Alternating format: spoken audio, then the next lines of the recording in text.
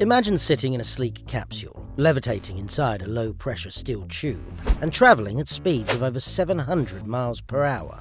In a recent interview, Tesla CEO Elon Musk shared his thoughts on how Hyperloop worked and explained why it will do more good for the environment than even Tesla. It's just a low pressure tube with a pod in it that uh, runs on, on air bearings, on air skis.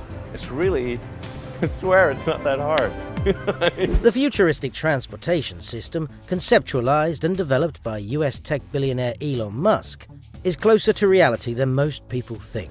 After the latest announcement by Elon Musk's Boring Company, we now know where the first location is set to be. Today, we will explain everything about this huge announcement from the Boring Company and the details of its first Hyperloop location.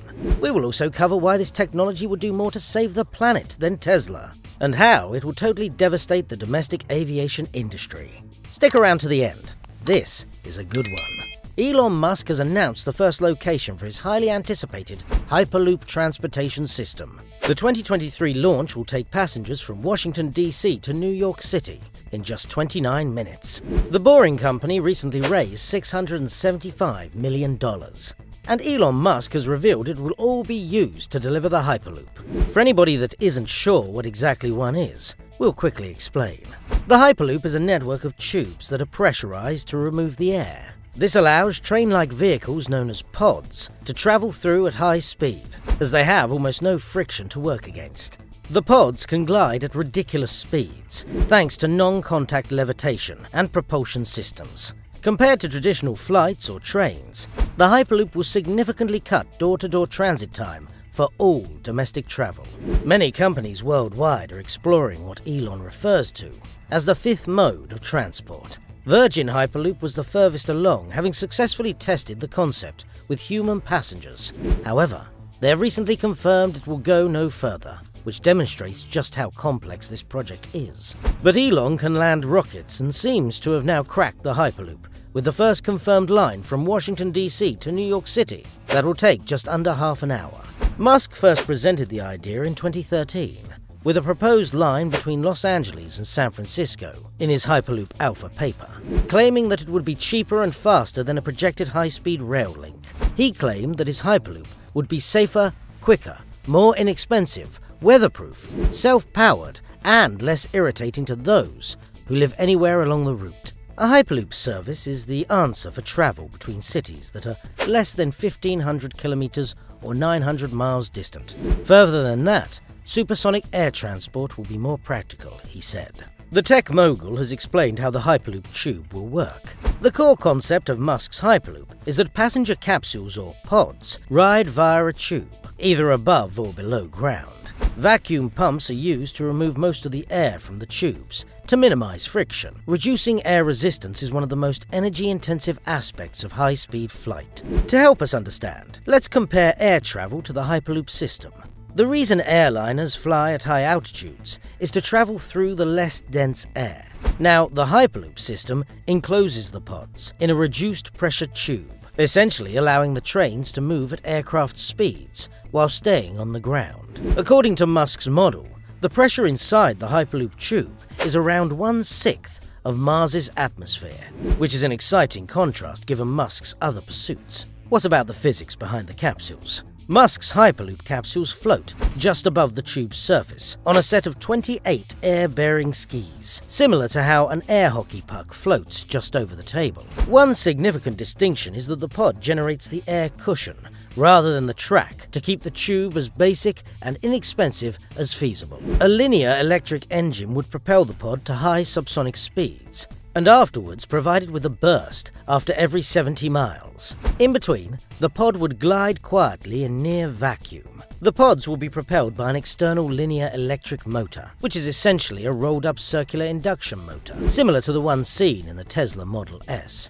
According to Musk's plan, the Hyperloop would be fueled by solar panels mounted on the top of the tube, allowing the system to create more energy than it requires to operate. Many are anticipating the first location of the Hyperloop to be as presented in Elon's conceptual Hyperloop Alpha paper between San Francisco and Los Angeles. Additionally, cities in California, Florida, and Texas are in talks with the Boring Company about implementing new loop systems. But it seems the company have their eyes on first delivering a Hyperloop between Washington and New York that is set to revolutionize the commute between the two cities. The current travel time is between three and a half and four hours, depending on if you are driving or taking the train.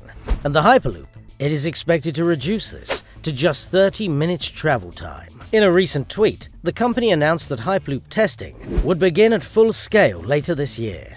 Before the official tweet, Elon has been chatting on Twitter about the Hyperloop with his followers, writing, From a known physics standpoint, this is the fastest possible way of getting from one city centre to another, for distances less than about 2,000 miles he said. Despite claiming to be too busy, Musk has always been enchanted by the Hyperloop concept. In 2017, he tweeted that he had received verbal clearance for a New York to Philadelphia to Baltimore to Washington, D.C. Hyperloop, which we believe to be the basis of the recent confirmation. The Washington Post claimed that Musk's Boring Company acquired a New York permit for some preliminary excavation work. The Maryland Department of Transportation also granted conditional approval to build a boring company tunnel from Baltimore to Washington, allowing it to dig beneath state roadways. How different is this mode of transport from traditional rail transport? First, they are a lot quicker. The pods should be able to reach speeds of up to 700 miles per hour. Second, rather than utilizing wheels like a train or automobile, the pods are meant to float on air skis or utilize magnetic levitation to eliminate friction similar to how an air hockey table works. Proponents think that Hyperloop might be less expensive and faster than rail or vehicle travel and more environmentally friendly than air travel. It is also faster and less expensive to construct than regular high speed rail. Consequently, the Hyperloop might relieve congestion on congested roadways, facilitating transit between cities and potentially yielding significant economic advantages. One of the most interesting aspects of a Hyperloop is the potential to completely disrupt the domestic flight industry. Right now, if you want to travel from LA to New York, you can drive, get a flight, or take a train. Driving takes six to seven days, with some overnight stops. Most people just don't have the time. Trains take two days and 22 hours. Again, far too long. And an exhausting experience. Taking a five hour flight is really the only option. However, aircraft are one of the fastest growing sources of emissions. Emissions from domestic aviation alone have increased 17% since 1990, to account for 9% of greenhouse gas emissions from the US transportation sector alone.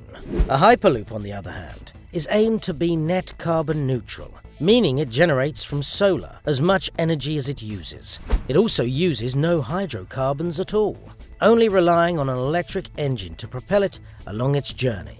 If Elon Musk were to execute his vision and the Hyperloop became a widely adopted method of transport, the aviation industry would be at a serious risk of huge disruption.